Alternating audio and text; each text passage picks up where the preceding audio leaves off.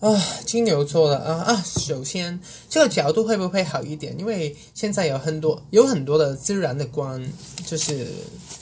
进进了我的那个工作的那个地方，所以是不是很漂亮呢？好吧，嗯啊，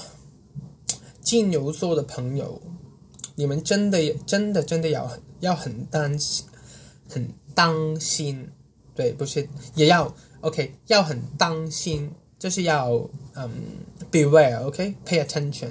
也要去担心，就是去 worry about that，OK，because like 因为呢，我可以说你们的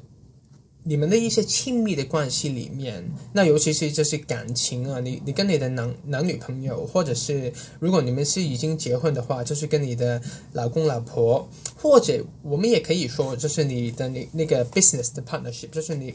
一个创业的那个合伙的关系，你们真的要很小心第三者。那如果是 business partnership，就是说那个创业的那个伙伴的伙伴的那个关系，所以呃，可能说就是有有第三个人去去嗯影响你们之间的关系，好吧？OK。但是呃，如果我说感情会不会比较容易去理解？那我现在就去用这个感情的关系关系去做那个例子例子，好吗？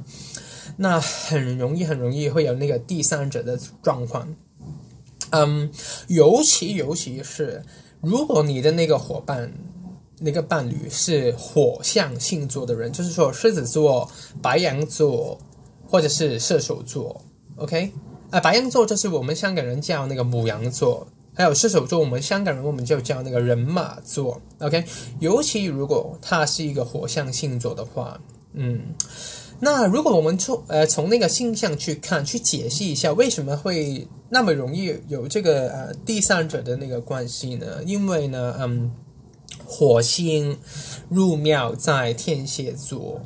那它同时在三分双鱼座里面的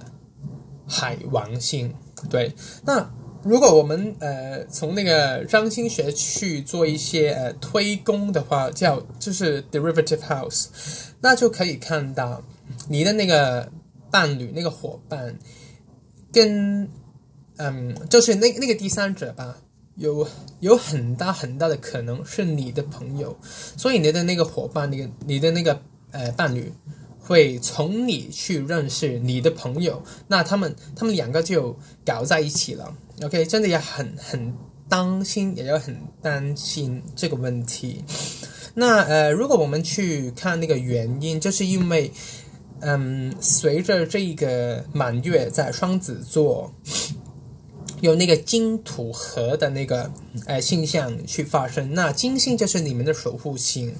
所以呢，其实就是说你自己最近的那个感觉会太过的成熟，会太过的老派，好像一个老老人家很闷，还有严重的话会有一些心冷感，性冷感。对了，所以你的尤，所以你尤其是火象星座的那个伙伴那个。伴侣就是就会觉得你好闷呐，你怎么不不跟他一起去玩？所以他就跟别人去玩呢。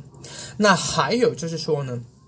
那个第三者也也有很大很大的可能是也是一个火象的星座，所以他们两个火就搞在一起啊。因为你很闷嘛，所以他们两个火就烧的呃轰轰烈烈的什么的，对吧？所以嗯，金牛座的朋友们。从这个双子座满月开始，直到下一次我出我出这个星座运势，就是说摩羯座的新月的时候，你们真的非常要当心，还有担心。